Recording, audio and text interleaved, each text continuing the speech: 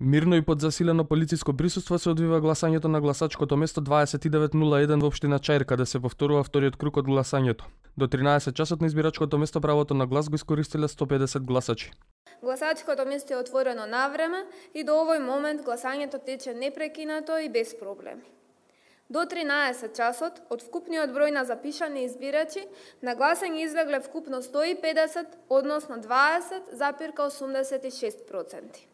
Предходно и подпредседателката на избирачкото место Лилијана Трошанска потврди дека гласањето почнало навремено и се одвива без никакви проблеми. Излезноста на граѓаните нова гласачко место речи се идентична како во првиот и вториот круг на изборите. Во првиот круг до 13 часот гласале 155 гласачи, додека во вториот круг бројката е иста како денеска. За мирен изборен ден информира и од невладината цивил, чии наблюдувачи стануваат во училиштето и днина до затварање на избирачкото место. Инаку прегласувањето нова гласачко место доаѓаат како управниот суд донесе одлука по жалба на една политичка партија. На избирачкото место има вкупно 719 гласачи, разликата меѓу кандидатите во оваа скопска општина беше 209 гласа.